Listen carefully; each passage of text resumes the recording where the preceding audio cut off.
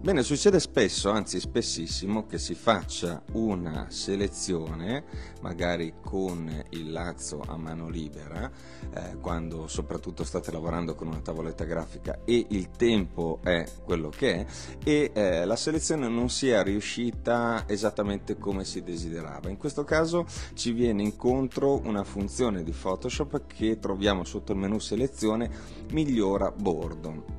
Ecco, in questo caso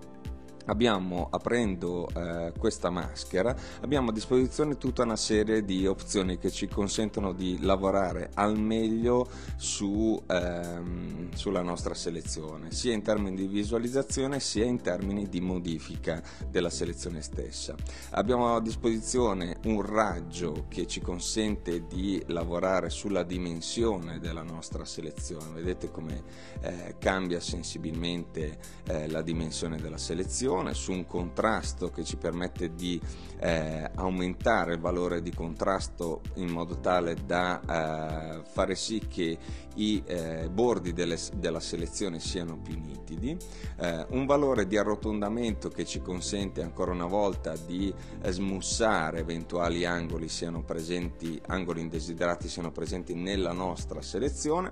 oltre ad avere poi un comando di gestione della sfumatura per rendere, eh, al contrario del contrasto, la nostra selezione più morbida. Infine il contrai espandi che ci consente appunto di espandere o contrarre la nostra eh, selezione. Eh, una volta trovata la combinazione giusta per eh, tutto quanto, tutta la, la, nostra selezione, possiamo dare un bel ok, eh, tenendo sempre presente che ad ogni eh, comando che andiamo a selezionare